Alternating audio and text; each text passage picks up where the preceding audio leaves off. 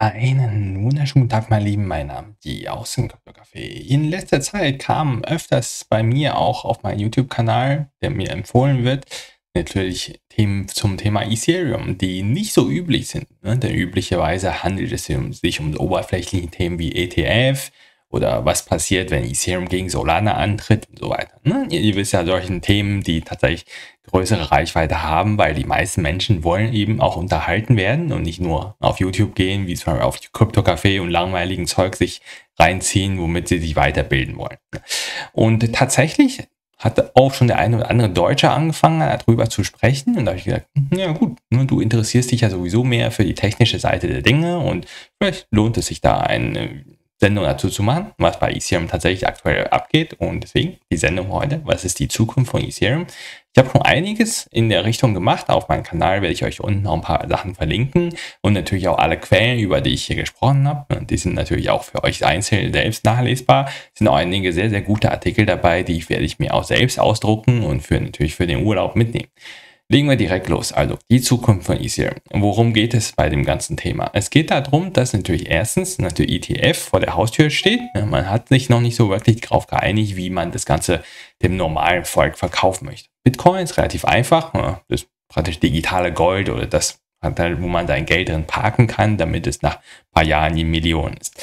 Was ist aber Ethereum? Das ist ein bisschen schwieriger zu fassen natürlich. Das, der zweite Punkt ist natürlich, Ihr wisst Solana, na, da geht einiges ab und das ist natürlich auch deren Architektur geschuldet. Das ist alles eher wie so Unternehmen. Solana wird getrieben.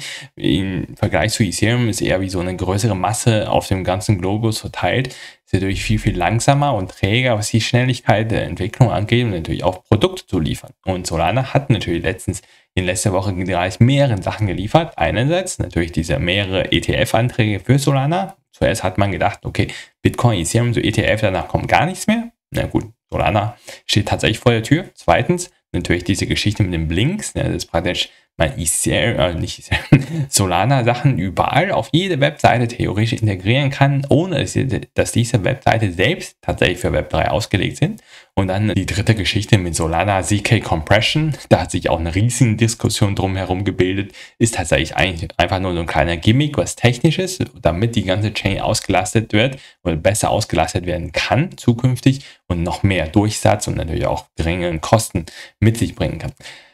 Da passiert einiges und da ist natürlich, ne, ihr wisst, Krypto, da geht es einfach um die Aufmerksamkeit und wenn natürlich andere Projekte oder Ökosysteme mehr Aufmerksamkeit bekommen, egal ob berechtigt oder nicht, dann muss man natürlich das eigene Ökosystem, aber in diesem Fall Ethereum ein bisschen natürlich unter die Lupe nehmen, aber auch mal die Zukunft etwas genau unter die Lupe nehmen. Ist die Richtung, die wir aktuell eingeschlagen haben, noch die richtige oder müssen wir uns auch was verändern? Also, der aktuelle Stand bei ETH das, ist, das sind die tatsächlichen äh, und Fakten, die ihr auch selbst äh, nachvollziehen könnt, ist natürlich ist unverändert. Ethereum mit den ganzen Layer 2s, die drumherum sind, Ökosystem, ist immer noch mit großem Abstand, auch mehrfachen Abstand vor Solana das größte Smart Contract Ökosystem und natürlich auch die Plattform mit den meisten Entwicklern. Das sieht man einfach daran, wie viele Leute für das Ökosystem entwickeln und vor allem ganz wichtig, man sieht daran, wie viele Sicherheitsexperten im Ökosystem unterwegs sind. Wenn ihr zum Beispiel bei Solana mal reinguckt, ich folge ja sehr viele solcher Sicherheitsexperten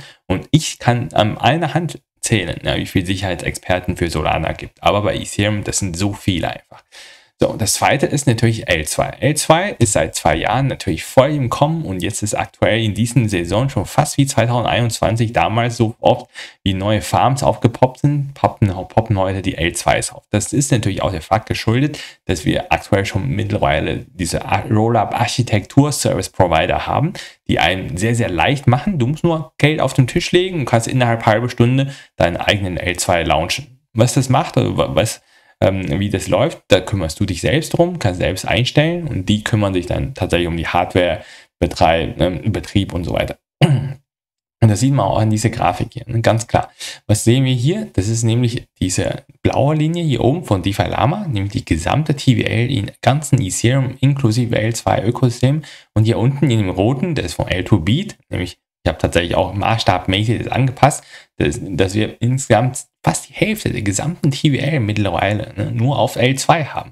Und wenn ihr dieser roten Bereich zum Beispiel von dem blauen abzieht, da hat sich eigentlich nichts verändert, was auf L1 angeht. Das heißt, fast alles an TVL, die wir seit zwei Jahren in das Ökosystem Ethereum hereinbekommen haben, ist auf LR2. Das kann ich natürlich auch selbst bestätigen, denn ich habe natürlich schon seit Anfang an mein ganzes Geld, ne, 2021 und so weiter, auf Polygon gehabt und danach dann nach und nach auch auf L2 geschoben. Ich war nie wirklich auf Mainnet unterwegs gewesen. Und das sieht man da dran, zeigt sich einfach die Nachfrage, beziehungsweise die ganzen User, die in den letzten zwei Jahren reinkommen sind, die wollen gar nicht auf dem Mainnet oder können sich das gar nicht leisten, aber es sind 40, 30, 40 Milliarden an Gelder, die einfach da sind, um das ausgegeben zu werden oder ne, zumindest als Value Locked auf L2 platziert zu werden. Und da haben wir natürlich auch an der Stelle, wenn ihr jetzt auf L2 Beat guckt ja, oder ähm, andere Seiten, sehr, sehr viel ja, Sachen, die überhaupt keinen Sinn machen, die einfach nur gelauncht sind, damit Leute dort ihr Geld parken oder ihren Punkte sammeln. Aber wirklich Daseinsberechtigung haben die nicht. Ne? Und dann haben wir natürlich noch ein großes Problem. Das heißt, vielleicht ein Feature, vielleicht ein Problem, weiß man heute noch nicht. Das ist nämlich vor ein paar Monaten, habe ich auch selbst darüber berichtet, diese Blobs Upgrade. Blobs Upgrade ist einfach dafür, dass L2s besser betrieben werden können. Erstens viel günstiger und zweitens an der Stelle nicht als Konkurrenz zu normaler Ethereum-Transaktionen stehen. Das kann man, das ist, ne, wie man sagt, Sidecar, so eine Art, ihr kennt ja diese Motorräder mit einem kleinen Wagen neben anderen, wo drin noch einer drin sitzen kann. Das ist so ähnlich ne, wie Blobs. Das heißt, Blobs, egal wie voll das, diese Ethereum Chain selbst ist mit Transaktionen, bleiben die Fees von den Blobs immer unabhängig davon. Da konkurrieren einfach nur alle anderen L2s mit den, miteinander, wer die Blobs füllen darf und da dort massig Platz ist aktuell, noch nicht mal komplett ausgeschöpft. Wir waren einmal kurz davor, das komplett auszuschöpfen ist, sind die Fees eben auch auf L2 sehr, sehr niedrig. Da habe ich mich tatsächlich auch verschätzt. Anfang des Jahres, im Januar habe ich gedacht, das wird dann kurzfristig runtergehen, danach wieder hoch. Und tatsächlich mittlerweile sind wir schon seit drei Monaten im Bereich 1 bis 2 Cent, wenn überhaupt. Das ist auf jeden Fall gut, aber das heißt auf der anderen Seite auch, wir haben jetzt in dieser Woche ne, tatsächlich das erste Mal seit 19, äh, nicht 19, 2016, also seit fast acht Jahren, zehn Stunden lang, ne, ihr seht hier, zehn Stunden lang die durchschnittlich niedrigsten Fee auf Ethereum gehabt. Und das ist natürlich eine ganze, eine geschichtliche, ja, sag ich mal, Prägnanz hat es. Und das ist, zeigt auch, ne, das sind die Leute, die haben keinen Bedarf. Selbst auf Ethereum, wenn es günstig genug ist, wollen die Leute lieber auf L2 bleiben. Warum? Naja gut, es fühlt sich viel bequemer an, wenn du es machst und das ist sofort da, das Ergebnis. Probiert einfach Arbitrum Optimism im Vergleich zu Mainnet, da schickst du eine Transaktion ab, wenn du Glück hast, ist nach 10 Sekunden das Ergebnis da. Wenn du Pech hast, wartest du 30, 40 Sekunden, bis das Ergebnis da ist. Das will kein Mensch, auch wenn es günstig ist. Selbst wenn es so genauso günstig wäre wie auf L2. L2 ist einfach das Benutzererlebnis viel besser als auf L1. Und dann kommen wir nämlich zu dem nächsten Punkt, ja, diese ETH-ETF-Geschichte. Ihr seht hier, ja, natürlich Bankless, eines der größten Kryptokanäle, hat sich schon ausführlich damit befasst und das ist natürlich auch Ne, dieses Image-Problem. Was sind wir jetzt eigentlich? Ethereum L2, ist das ein Internetcomputer? Ist das ein ist das App-Shop oder ja, was ist, was, wie kann man das wirklich verkaufen? Und man möchte natürlich auch, dass Leute, die sich nicht mit der Materie auskennen, in das Ökosystem reinkommen oder auf L2 kommen oder vielleicht sogar den Token kaufen.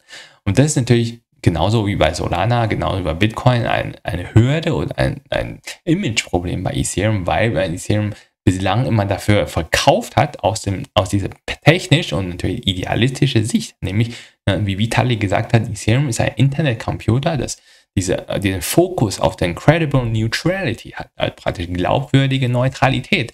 Erzählt mal draußen jemand von glaubwürdiger Neutralität, die, die denken, hä, hast du eine an der Waffel? und jetzt will man halt davon wegkommen. Ne? Spielt gleich natürlich in die Geschichte hinein, die ich euch in dieser Sendung erzählen werde. Jetzt kommen wir natürlich, ja, letzter Punkt, das ist, kennt, erkennt jeder, Konkurrenz ist, kommt jetzt von allen Seiten, gerade wenn wir vor, Bullen, vor dem Bullenmarkt stehen. Das letzte Mal im Bullenmarkt waren natürlich die einzigen Konkurrenz, die wirklich als Smart Contract überhaupt da war, Cardano, ja. Die haben gesagt, bei uns, Smart Contract ist schon soweit, ja, aber ihr könnt es nur noch nicht benutzen. Hm, in einem halben Jahr sind wir dann da. Und jetzt haben wir ne, natürlich zum Beispiel Solana hat man als äh, tot gesprochen, ist natürlich wiedergekommen und natürlich auch die anderen schlafen nicht, Avalanche, äh, Phantom und Aptos, Sui, wie die alle heißen, die schnellen und natürlich die alten aus dem letzten Zyklus sind alle da. Aber hauptsächlich Solana, Bitcoin von beiden Seiten. Bitcoin, ne, viel, viel stabiler, viel mehr Leute kennen sich damit aus und die ganzen Bitcoin-Maxis vor allem und Solana, ja, einfach nur Fokus, egal, Zentralisierung interessiert uns nicht, Hauptsache gute Produkte, viele Menschen, die es benutzen wollen, ja, jetzt so schnell wie möglich USDC überall adoptieren. Das ist natürlich der, viel Aufmerksamkeit, die von Ethereum abgezogen wird. Und ja, Wie gehen wir jetzt damit um? Beziehungsweise das Dilemma, natürlich, vor dem das Ökosystem Ethereum steht, ist natürlich generell, das sind nicht nur Ethereum, ja, sondern bei allen Ökosystemen so. Wir haben immer unterschiedliche Parteien in einem Ökosystem, die unterschiedliche Interessen, natürlich auch Bedürfnisse verfolgen. Wir haben bei Ethereum ja, eine, eine sehr, breit, sehr breite Masse von Endnutzer. Das sind sowohl natürlich reine Benutzer, so wie ich, ja, dabei, natürlich auch die Meme-Coin-Trader, die von Chain zu Chain springen oder na, von Airdrop zu Airdrop springen. Und wir haben natürlich auch Langzeitinvestoren, na, die einfach nur den Token kaufen und halten. Das sind die Tokenhalter. Und wir haben die Homestaker, da sind sehr, sehr viele Leute dabei, auch große Kanäle, die ich selbst sehr, sehr lange verfolge. Beispiel Daily Grace, eines der größten Maxi zu Ethereum, aber die bringen wirklich guten Content, auch solide in der Regel. Klar, ab und zu leistet er sich auch einen Ausrutscher. Und diese Menschen sind natürlich auch gut als Gegenpol zu die, die natürlich ne, nur kurzfristig denken, hey, Hauptsache Token gegen den Mund. Ne? Für den zum der sagt, auch mir ist es egal, wo der Token liegt, Hauptsache ich kann dafür sorgen, dass das Ökosystem eine Ideale treu bleibt, nämlich diese Dezentralisierung, diese maximale Homestaking ermöglichen und so weiter. Ne? Und dann haben wir natürlich große Unternehmen, sind mittlerweile alle da im Ethereum-Ökosystem. Ihr wisst ja, ne, auch der BlackRock hat seinen Builder-Fonds, auch den L1. Wir haben natürlich Coinbase als eines der größten Kryptounternehmen und davon halte ich sehr, sehr viel. Und die haben natürlich mit Base gezeigt, dass es absolut möglich ist, richtig viel Kohle zu verdienen, noch nicht mal, noch nicht mal mit einem Token aus draus. Irgendwann kommt vielleicht ein Token, aber ne, das zeigt einfach, es ist die Möglichkeit da. Da wirkt natürlich auch diese ganze Blockchain-Geschichte hinein. Ne? Und ich bin mir hundertprozentig sicher, dass, dass, da auch eine gewisse, ja, nicht Druck, aber Einflussnahme von den großen Unternehmen dabei war, nach dem Motto, hey, ja, wenn wir das Ökosystem fördern wollen oder können oder ne, so schnell wie möglich nach vorne bringen wollen, brauchen wir die Blobs, damit wir massig viele Leute onboarden können. Ne, wir, wir halten das meiste davon natürlich die L2 selbst als erstes. Die kassieren ja die Fees.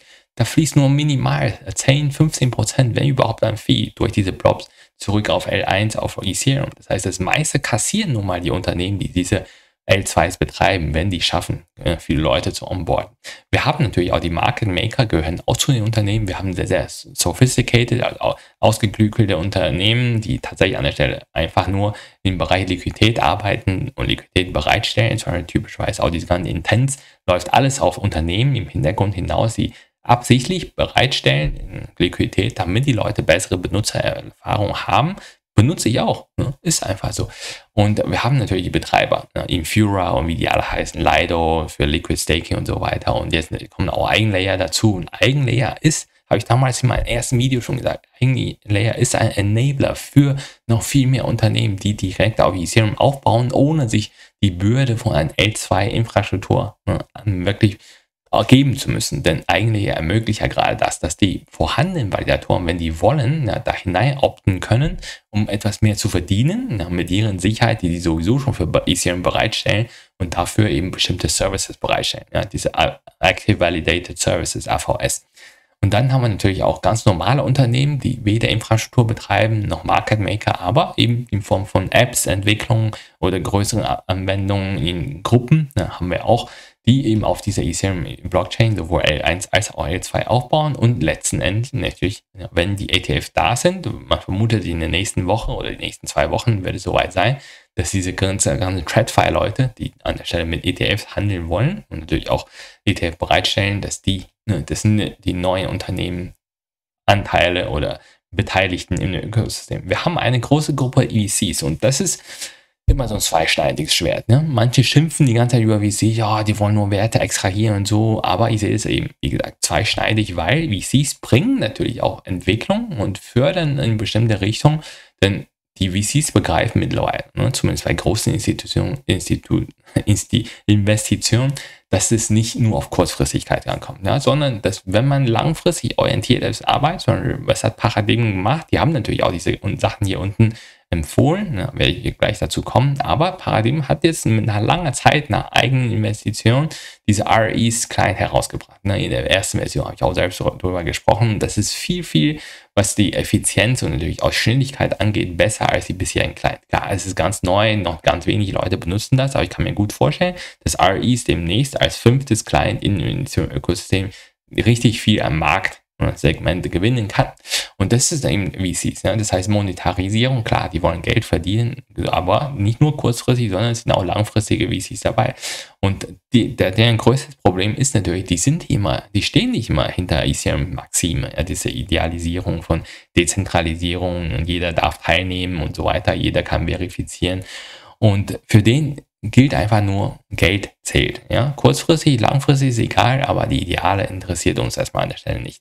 So, und dann haben wir natürlich die größte Partei, die letztendlich ne, praktisch den, die letzte Entscheidung trifft, was soll in das Ökosystem rein oder nicht. Ja? Was die Entwicklung angeht, niemand kann die forcieren, sondern die ganzen Bitcoin-Maxis. Ja? Ich habe mich vor ein paar Jahren darüber totgelacht, als die Leute gesagt haben, oh, die großen Leute, wenn die wollten, ja, können die einfach ne, 100.000 oder Millionen Token kaufen und dazu ne, bestimmen, dass das Ökosystem dann alles verändert. Das geht gar nicht, ja, weil es gibt kein Governance on-Chain für Ethereum. Ja, wenn die wirklich was verändern wollen, müssen die das durch Ethereum Foundation umsetzen lassen oder irgendwelche Entwickler, die genügend Macht haben, damit alle Validatoren auf der Welt diese neue Veränderung ne, weil sich akzeptieren.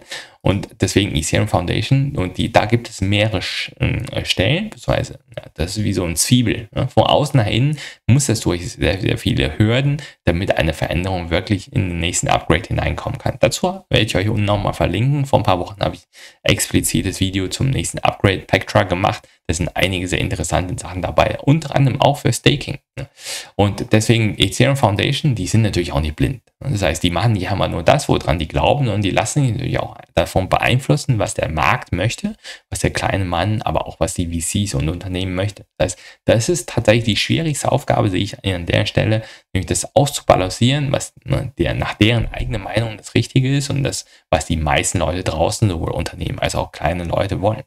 Kommen wir zum nächsten. Ja, das ist nämlich die Themen, die uns jetzt aktuell interessieren. Pre-Comps, Space Rollups, aber auch die Ideale, ne, hinter die Ethereum Foundation bzw. Vitalik auch stehen und was tatsächlich letztendlich herauskommt. Fangen wir jetzt mal mit den Sachen, woran man glaubt oder geglaubt hat. Und das ist eben das Problem bei Forschen. Ne? Du kannst dir immer vorstellen, wie es etwa kommen könnte oder kommen wird, wenn man bestimmte Sachen ja, so weit einrichtet oder, oder in der Richtung des vorprogrammiert hat. Aber letztendlich, was dabei herauskommt, kann niemand vorherhaben. Beim Merge, ja, Proof of Stake Umstellung, hat man gedacht, okay, ne, das wird schon alles gut gehen. Was ist danach passiert? Na naja, gut, da das die ganze Dinger über diese MEV-Bots gelaufen sind, äh, MEV-Builder, die haben natürlich ihren Sitz hauptsächlich in den USA gehabt und die ersten, natürlich von Flashbots, das waren die ersten, die haben das Beste herausgebracht, natürlich Open Source gemacht, was haben die gemacht? Die in den USA gesessen haben, haben das direkt adaptiert, haben angefangen damit Blöcke zu bauen auf Ethereum-Ökosystem und wir haben, das war nämlich hier Anfang, ja. Da war fast 90% Zensur auf der Ethereum-Blockchain gewesen, nämlich nach dieser OFAC-List. Mittlerweile ist es ziemlich stark runtergegangen, weil wir natürlich überall auf der Welt Bilder haben, die auch diese Blöcke bauen und wir sind ziemlich gut eingependelt bei ca. ein Drittel, 40 Prozent. Das ist auf jeden Fall etwas, was die Leute nicht erwartet haben. Das zweite, ne, hat man auch gedacht, okay, jetzt haben wir es geschafft. Ne? Die Leute sind verteilt, die Bilder überall auf der Welt. Was haben wir hier? Wir haben wieder das gleiche Problem, ne?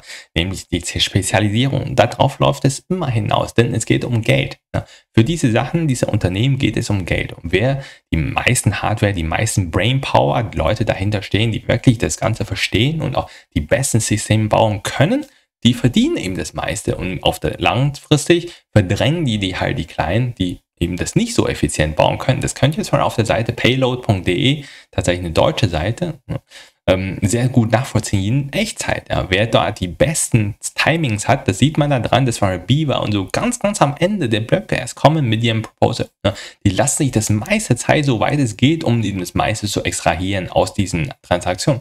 Und Beaver Build ist seit längerem schon fast bei 50 Prozent und die drei großen Blockbuilder, ne, das sehe ich hier, das sind externe Drittparteien, da hat Ethereum Foundation keinen Einfluss drauf, wie die arbeiten oder wer die sind, wo die sitzen. Ja. Aber die haben sich fast den gesamten Markt aufgeteilt. Ihr seht ja die drei großen Titan, Beaver und Rsync.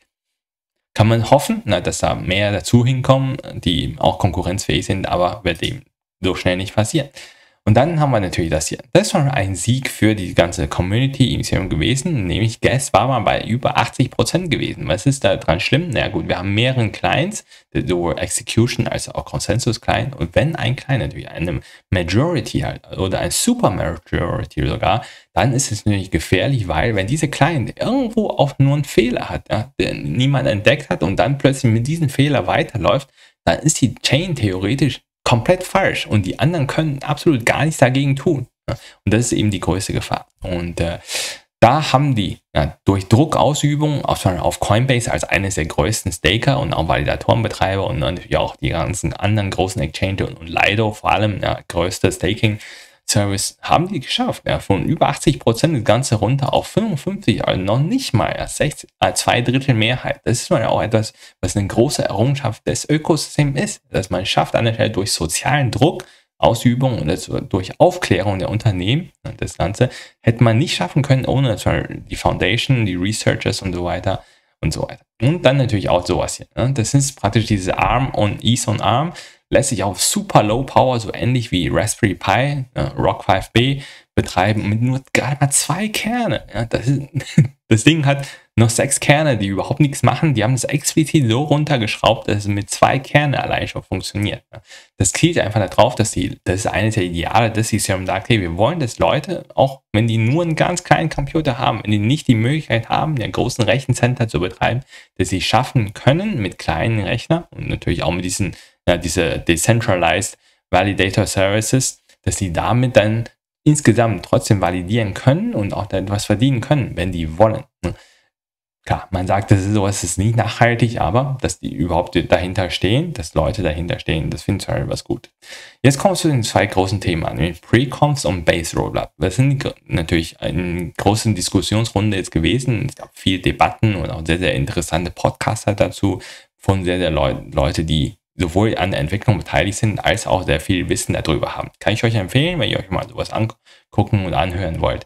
Worum geht's? Das sind zwei Themen, die jetzt aufgekommen sind. Einerseits natürlich, weil es schon in der Umsetzung ist und zweitens, weil man natürlich begriffen hat, dass die anderen Ökosysteme wie Solana und so weiter viel mehr Fokus äh, auf, den, auf die Endbenutzererfahrung legen und somit natürlich auch viel Benutzer bei sich ansammeln können.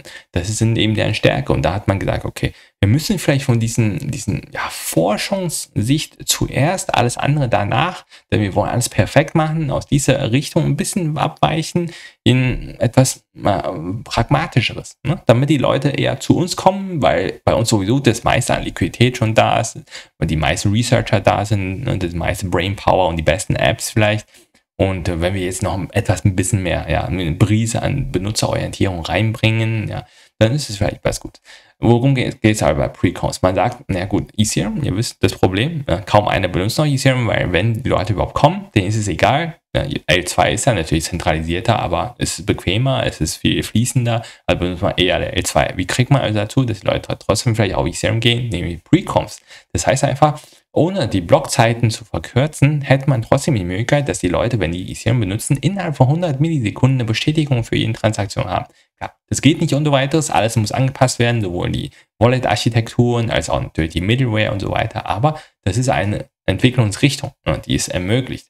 Nämlich die eine, aber das ähm, ja, gut, funktioniert auch nur, wenn man eine weitere Zwischenschicht einführt. Das sind diese Pre-Comps. Das sind extra Services oder Validatoren, die an der Stelle, nämlich Conf Conference, nennen die sich, da, die erhalten praktisch die Transaktionen nochmal separat von allen anderen. Ihr wisst ja, diese großen Mempool, wo alle Transaktionen drin landen, da suchen die natürlich die Builder und die Validatoren die entsprechenden Transaktionen raus, wenn die wollen, und bauen da draus einen Block, ja, das, wo die am meisten dran verdienen können. Und mit dieser Pre-Conf sagt man, die Leute verzichten auf diesen riesigen Mempool. Das ist praktisch wie so ein Express-LAN, ja, wie beim Flughafen. Ihr wollt schneller rein, also einfach dort rein. Ihr gebt einen minimalen Tipp on top.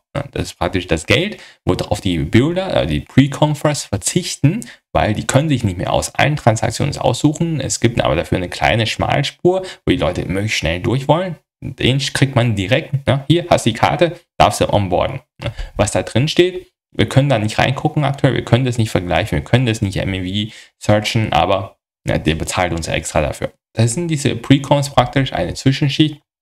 Die Leute geben den Leuten, also die Arbeiter geben automatisch den Leuten, die Transaktion abgeschickt haben, direkt am Anfang die Bestätigung, hey, deine Transaktion wird direkt von mir ein, äh, in, auf die Blockchain geschrieben, entweder in diesem Block oder im nächsten Block, das muss dich nicht interessieren, das geht rein, fertig, du bist durch. Ne? Du hast deine Bestätigung im Wallet, fertig, du kannst deine weiteren Sachen machen.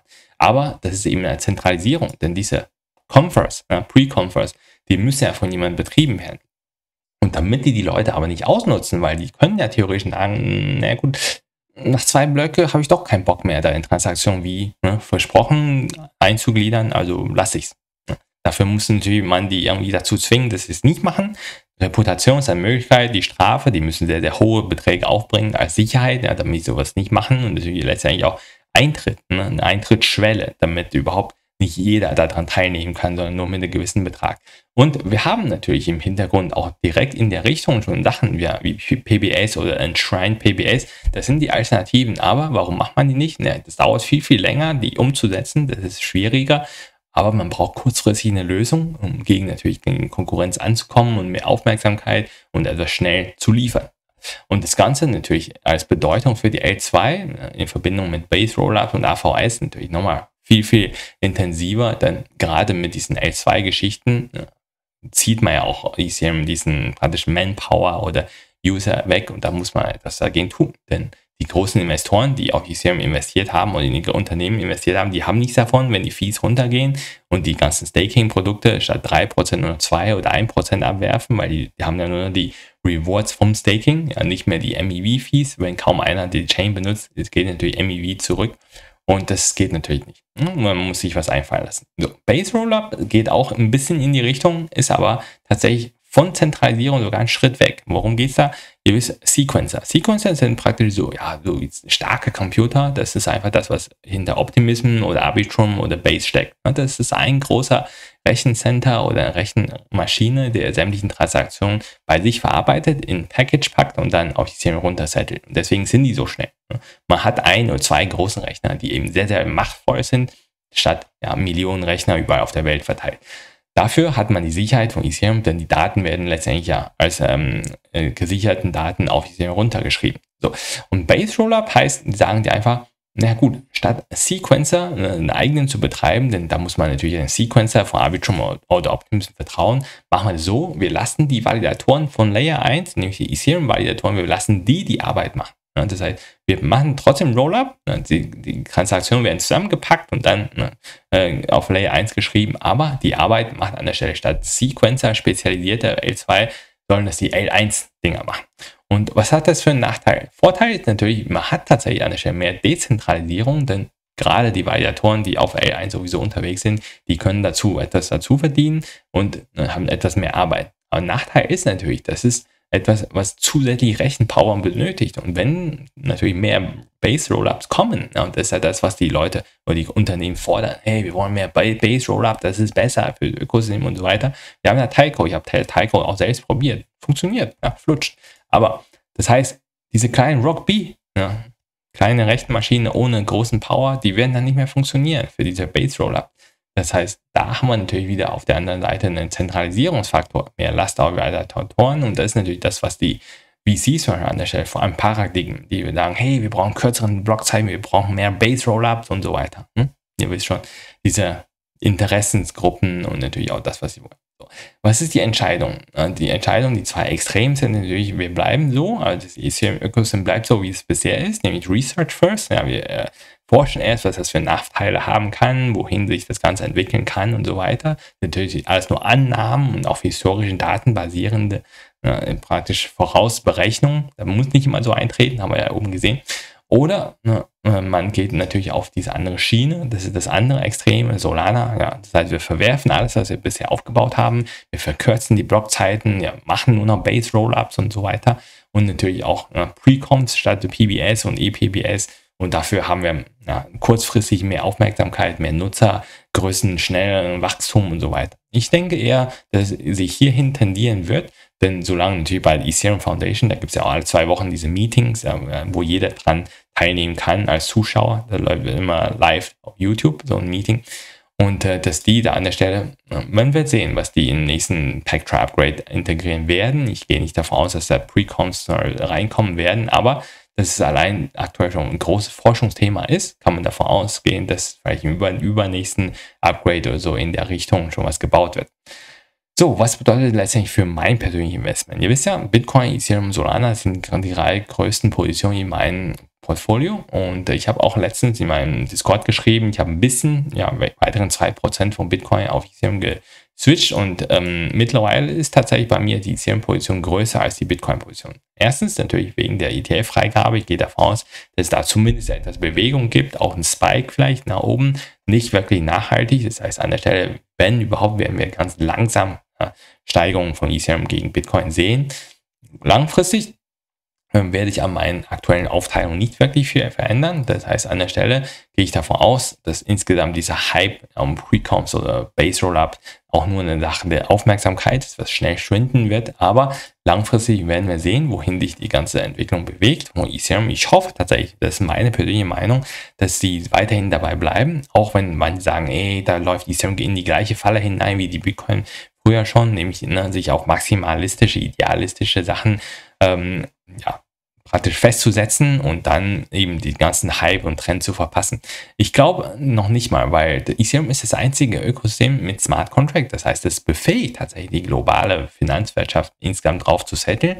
Und ähm, mit der Zeit, wenn man wirklich diese Base Layer so grundsolide aufgebaut hat, gehe ich davon aus, dass langfristig fünf oder zehn Jahre Sicht viel, viel Potenzial hat als etwas, was wie Solana, was sich schnell bewegt, zwar schnelle Produkte entwickelt ja, und auch liefert, viele Menschen anzieht, aber nicht die in der Lage ist, wirklich so neutral und wirklich für jeden zugänglich, vor allem auch für Unternehmen und für Staaten ne, so zugänglich zu sein wie so ein Unternehmen.